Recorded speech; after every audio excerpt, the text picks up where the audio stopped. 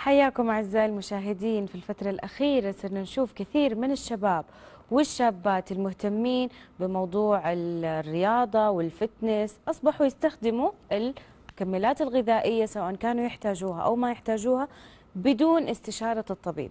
اعتقاد منهم إنه هي ما راح تضر ولا منها ضرر راح تفيدنا إذا ما ضرتنا. حنشوف مع الأخصائية اليوم لطيفة المحسن أخصائية التغذية عن المكملات الغذائية وعالم المكملات الغذائية. أهلا وسهلا فيك حياك الله. الله يحييك. هلا أهلا وسهلا فيك ومشاهدينا.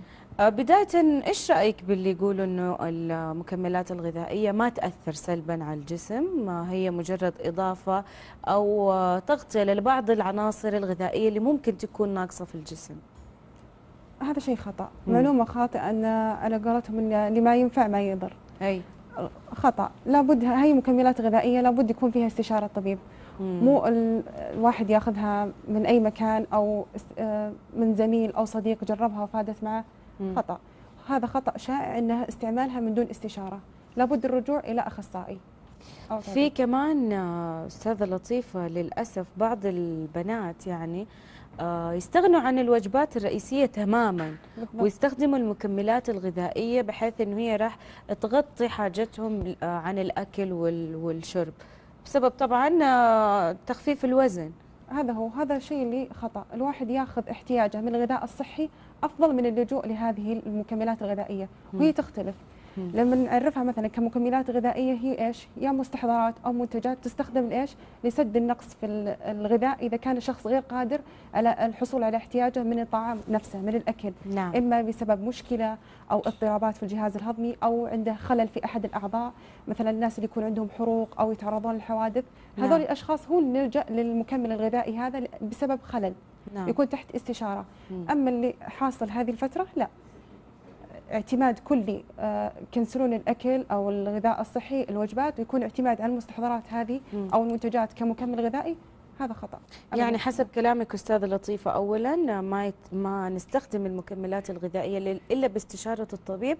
هناك حالات خاصة ومعينة اللي بتحتاجها المكملات بالضبط. الغذائية. ابدا. مو أي أحد يستخدمها. مو أي أحد. منها اللي ممكن يحتاجها آه، المكملات مثلا شخص يكون عنده آه، خلل في آه، امتصاص بعض العناصر.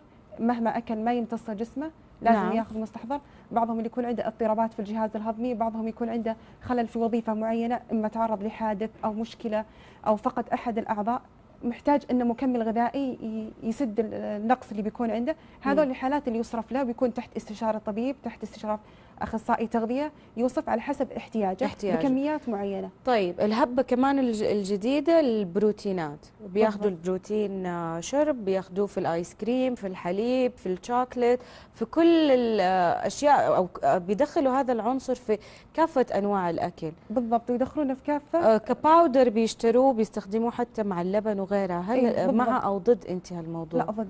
ضد. إذا ما كان تحت استشارة ضده حتى لو كان هو فتنس ونادي حتى ورياضة لأن كمية البروتين هو جالس ياخذ كميات مو عارف يحسبها مم. فيمكن يسبب له فشل في الكلى أوه. في الكبد يأثر على الأجهزة فلما يكون تحت استشارة بكميات مقننة ممكن هو يكون محتاج خصوصا في نلاحظ في الشباب ال- اللي يلعبون في الرياضة يحتاج يبني عضلات يبغى بنية لافتة لجسمه أوكي صحيح بس يكون تحت استشارة لأنه بتكون بكميات مقننة إما بودر أو مشروب على حسب اللي يصف مو إنه ياخذ بكيفه مم. غير كذا في حاجة لازم يلتفت لها ان في بعض المنتجات تكون مغشوشة في بعض. المنتجات غير مرخصة لأنه يروح يشتريها من أي مكان هو مو عارف نعم. إما بوصفة أو أحد مدحها له ما ينفع نعم، نعم. فيكون تحت استشارة تفاديا للمشاكل اللي بتحصل له صحيح.